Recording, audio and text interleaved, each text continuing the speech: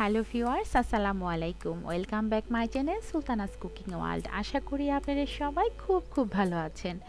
মাহি রমজানের শুভেচ্ছা জানিয়ে আজ আমি আপনাদের সামনে যে রেসিপিটি নিয়ে হাজির হয়েছি, সেটি হচ্ছে ছোলা ভুনা।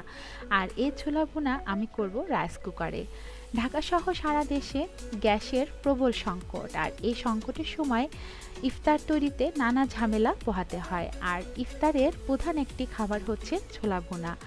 গ্যাসের সংকট দেখে আমরা ছোলা ভুনা করব না বা ছোলা ভুনা আমাদের টেবিলে থাকবে না, তা কিন্তু হয় না। তাই ভিউয়ার্স আমি কীভাবে রাইস কুকারে ঝটপট এই ছোলা ভুনা করা যায় সেই রেসিপিটি আজ আমি আপনাদের সামনে উপস্থাপন করব। চলুন তাহলে দেখি কীভাবে রাইস কুকারে ছোলা ভুনা করতে হয়। আমি এখানে দেড় কাপ পরিমাণ ছোলা নিয়ে সারা রাত ছোলাগুলোকে পানিতে ভিজিয়ে রেখেছি। সারা রাত না ভিজালেও মিনিমাম পাঁচ থেকে ছয় ঘণ্টা ছোলাকে ভিজিয়ে রাখতে হবে। আমি ছোলাগুলো ভিজিয়ে রেখে ধুয়ে তারপর দেখেন ভেজানোর কারণে ছোলাগুলো কত পুষ্ট হয়েছে। তো ছোলাগুলোকে আমি ধুয়ে রেখে তারপর পর্যাপ্ত পরিমাণ পানি দিয়েছি আর এখানে আমি তিনটে আলু নিয়েছি। আর এই আলুগুলোকে আমি একসাথে ছোলার সাথে সিদ্ধ করে নিব। চামড়া সহই সিদ্ধ করতে হবে।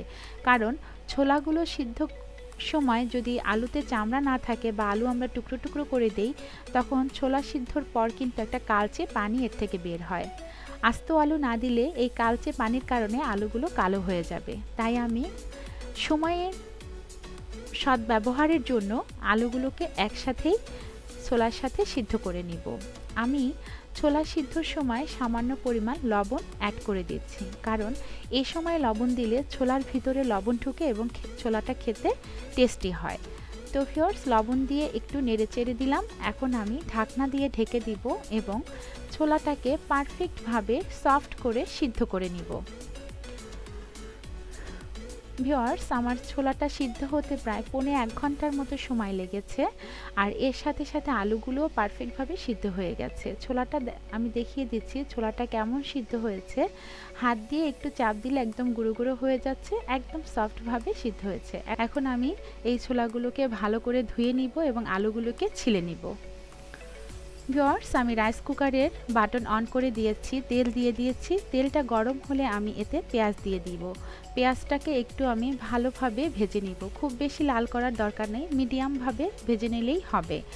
মিডিয়াম যখন ভাজা হয়ে যাবে, তখন আমি এতে আধা চা চামচ পরিমাণ আদা, আধা চা চামচ পরিমাণ রসুন বাটা অ্যাড করব। আদা এবং রসুনটাকে একটু নেড়ে চেড়ে নিব, যাতে করে আদা রসুনের যে র ফ্লেভার বা কাঁচা গন্ধ আছে সেটা যেন চলে যায়।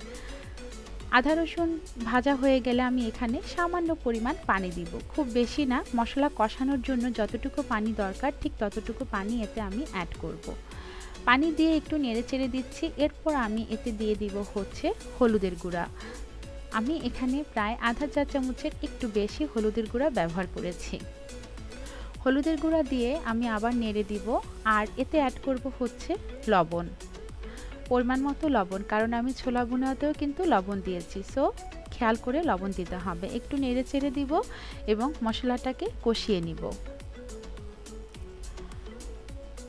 মশলাটা যখন ভালোভাবে কষানো হয়ে যাবে এবং মশলার উপরে এরকম তেল উঠে আসবে, ঠিক তখন আমি এতে দিয়ে দিব হচ্ছে ছোলা। আমি সিদ্ধ করে ছোলাগুলোকে ধুয়ে রেখেছিলাম, সেই সিদ্ধ ছোলাগুলো দিয়ে দিব আর দিয়ে দিব হচ্ছে আলু আমি আলুগুলোকে ছিলে হাত দিয়ে একটু চটকে ভেঙে রেখেছি, সেই তিনটা আলু আমি এতে অ্যাড করব। এখন আমি আলুগুলোকে ছোলার সাথে ভালোভাবে মিশিয়ে নিব। একটু ভেঙে ভেঙে মিশিয়ে নিব। আমার কাছে ছোলা ভুনাতে আলুটা একটু গলে গলে গেলে একটু আঠালো আঠালো হলে ছোলা ভুনাটা খেতে ভালো লাগে। তাই আমি এভাবে দিয়েছি। আপনারা যদি চান তাহলে সে আলুটাকে ছোট ছোট পিচ করেও দিতে পারেন। আমি সামান্য পরিমাণ পানি অ্যাড করব। নেড়ে দিচ্ছি। এখন আমি এতে আরও কিছু পরিমাণ পেঁয়াজ কুচি দিয়ে দিব। ছোলা ভুনাতে একটু পেঁয়াজ কুচি হলে ভালো লাগে। আর এই পেঁয়াজের স্মেলটা ছোলা ভুনা খেতে একটু ভিন্ন রকম লাগবে। আমি দিয়ে দিলাম অনেকগুলো কাঁচামরিচের ফালি। আমি ছোলা ভুনাতে কোনো শুকনো গুঁড়ামরিচ অ্যাড করি নাই। কাঁচামরিচের ঝালে আমার ছোলা ভুনা খেতে ভালো লাগে, তাই এতে আমি প্রচুর পরিমাণ কাঁচামরিচ দিয়ে দিয়েছি।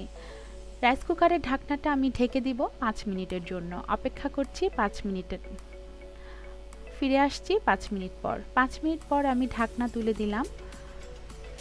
ছোলা ভুনাতে আমি যে একটু পানি অ্যাড করেছিলাম, দেখেন ভিউয়ার্স পানিটা পুরোপুরি শুকিয়ে গেছে। ছোলা ভুনা, ছোলাটা একেবারে মাখা মাখা হয়ে ভুনা হয়ে এসেছে। এখন আমি এতে শেষ পর্যায়ে অ্যাড করব হচ্ছে ধনিয়া পাতা কুচি। ধনিয়া পাতা কুচি দিয়ে একটু নেড়ে চেড়ে দিব এবং হয়ে গেল ভিওয়ার্স আমার ঝটপট রাইস কুকারে ছোলা ভুনা। ভিওয়ার্স এই এভাবে কিন্তু আপনারা রাইস কুকারে গ্যাস না থাকলে ছোলা ভুনে নিতে পারেন। শুধুমাত্র ছোলা না আরও অনেক কিছুই রাইস কুকারে করা যায়। আশা করছি সামনে, আপনাদের সামনে সেই রেসিপিগুলো নিয়ে হাজির হব। তো ভিওয়ার্স আমি যেভাবে ছোলাটা ভুনা করেছি, এটা কিন্তু আপনার রাইস কুকার ছাড়াও গ্যাসের চুলায়ও সেমভাবে করলে 10 থেকে বারো মিনিটের মধ্যেই খুব ঝটপটভাবে ছোলাটা ভুনা হয়ে যাবে। তো ভিউয়ার্স, আশা করছি আমার রেসিপিটি আপনাদের কাছে ভালো লেগেছে। আর ভালো লেগে থাকলে অবশ্যই লাইক, কমেন্ট এবং শেয়ার করবেন। আর প্লিজ প্লিজ প্লিজ আমার চ্যানেল সাবস্ক্রাইব করবে আমার সাথেই থাকবেন।